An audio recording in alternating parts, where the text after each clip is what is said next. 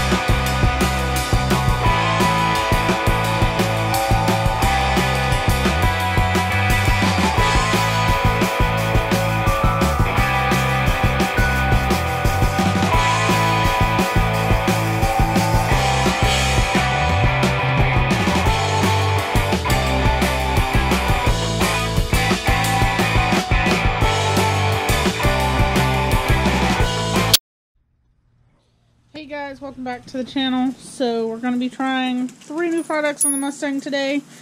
First thing we're going to do is be trying our new pressure washer. It is a Powerhorse. I think it was a 3100 PSI. Or let's see. Yeah, 3100 PSI and a 2.5 GPM.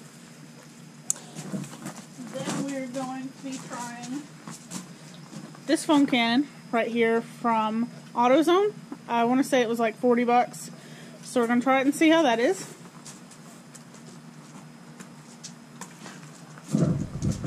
And then a lot of you liked the Voodoo car ride, or well, the Voodoo ride, um, car tire shine, and wheel cleaner review.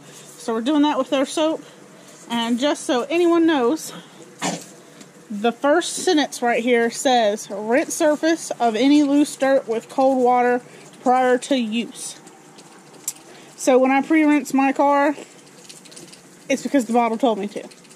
Alright, let's get started.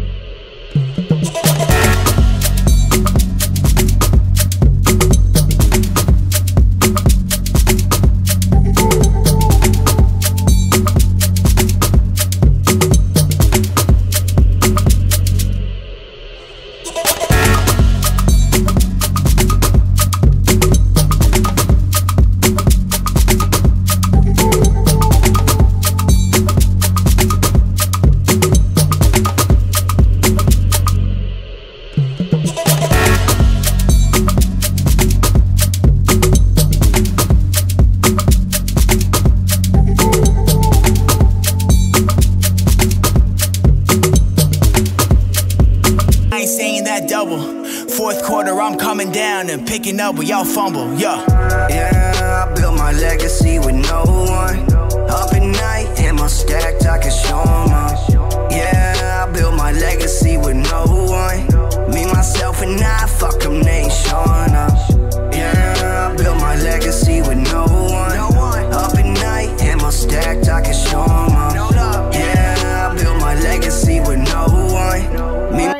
So we got the Mustang all cleaned up. I don't know how much we caught on footage, the GoPro died. Um, but we're going to towel dry it off after the video. But as you see, the foam cannon did pretty good. I mean, Devin's car's been sitting out here for a little while. We got the clutch in. We're just waiting on some more parts to come in that uh, he just wants to do everything at once. So we just got to get it done. But we're going to clean my car next. So I'll show you a, a quick little shot of it here in a minute. But thank you guys. We appreciate the support. Um, please go check out Voodoo Ride. That was awesome. Uh, the first shot, I didn't put enough soap in there. And the second time I did, and it fucking did amazing. But anyway, thank you guys. Don't forget to like subscri- and subscribe if you haven't already. Stay fancy.